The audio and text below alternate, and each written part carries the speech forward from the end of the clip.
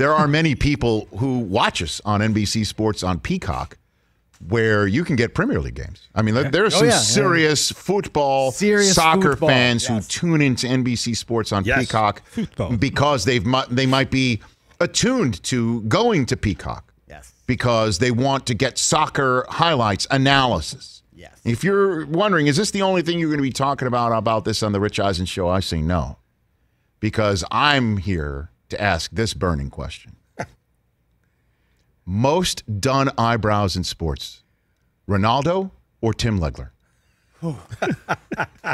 Who's got the better tan? I mean, yeah, exactly. That could be an argument. I think too. I think I that's see just you eyebrows. I you can't have you, one uh, without the other. Uh, basically saying, I think the tan is best done eyebrows in sports.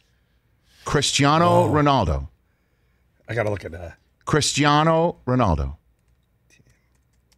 I'm gonna say Ronaldo. Is it Ronaldo? I'm, I'm gonna say Ronaldo. Christian Ronaldo. I think he has a little bit more. Uh, Or how do I- Tim I Legler. this? Timo Legler.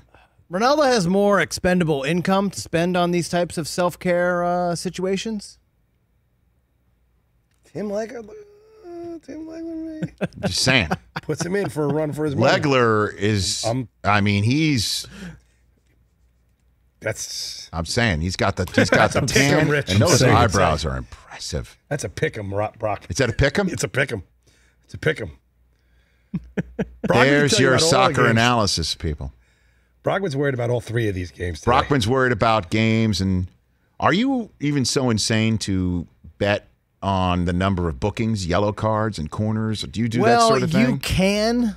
Uh, I'm just picking winners here, Rich. We're just picking winners. That's hard to do. Do you pick winners? I like. I have been. I like Germany big, and I like France by a goal. You like Germany Scared big? What a game, what a what a limb you're going out Well, on. they're they're a massive favorite over Hungary, so I, I kind of ex- Right, because they like embarrassing people on the international stage. Yeah, so I that's li- their mo, Chris. I like Germany. Even Germany. I know that. I like Germany four 0 today. If you, if you pick up what I'm putting down, what are you putting down? this is I mean, it's uh, unacceptable. Rich, Rich, I got to make these fun. It's it's the last. They're fun day of- enough. It's the last day of group play, though. You know, a a lot of these teams have already advanced into the into the round of 16. So let's spice things up a little bit. You know Okay. what I mean. Hey, you watched all the way to the end. Thanks for that. Watch more right here.